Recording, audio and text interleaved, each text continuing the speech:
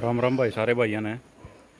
भाई, जैसे कल फीमेल को फीमेल के बच्चों को जो डिलीवरी हुई थी 25 तारीख को, उनको आयरन का इंजेक्शन दिया गया था।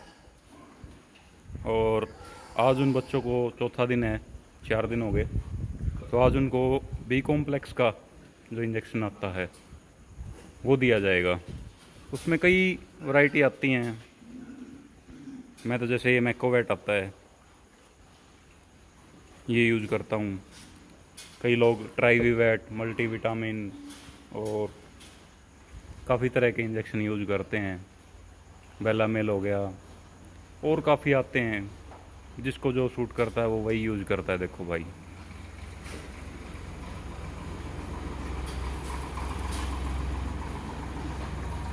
कल की तरह सेम प्रोसीजर है, कोई अलग प्रोसीजर नहीं है। कल हम लोगों ने जैसे उनको राइट साइड में लगाया था कुल्ले पे। आज लेफ़्ट साइड में लगाएँगे, साइड चेंज कर देंगे, ताकि एक जगह बार बार इंजेक्शन ना लगे। नेक्स्ट जो इंजेक्शन होगा, दस दिन बाद जो लगेगा, वो गर्दन में लगेगा। अभी क्या होता है कि बच्चे के मांस और कहीं होता नहीं है इतना ज़्यादा कि सुई वहाँ पे लगाई जाए, सिर्फ़ यहीं होता है। तो इसलिए यहाँ पे लगाया जाता है इंजेक्शन।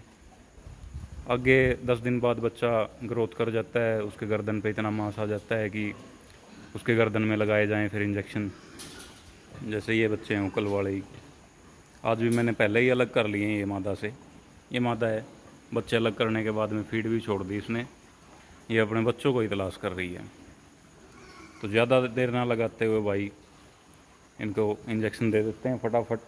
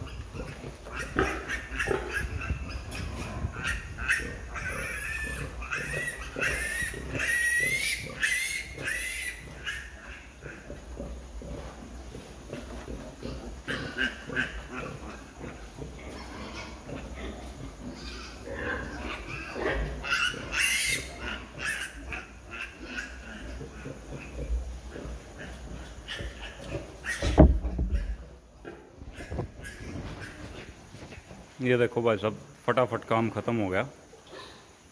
ज़्यादा देर नहीं लगी इसमें। अभी देखो ये माता भी फ़ीड के पास चली गई है। जब तक बच्चे अलग थे, ये भी फ़ीड नहीं खा रही थी।